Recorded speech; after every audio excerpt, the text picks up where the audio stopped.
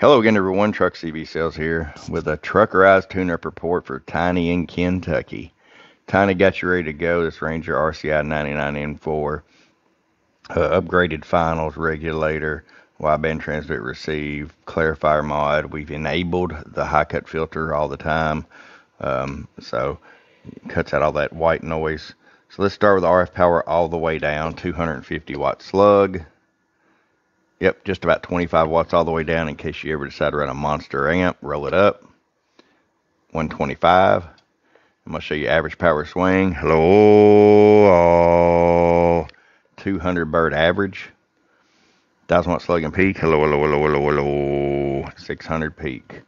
Now, if it was me, I would run this about right there pointing at the F on the power. Okay, Tiny?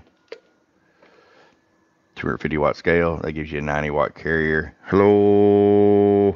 Swings to 175 bird, 1000 watt slug and peak. Hello.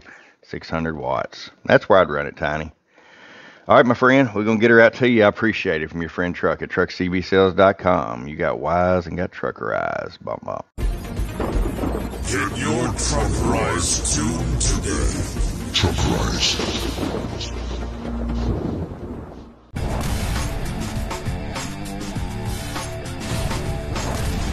Get wise and get progress today.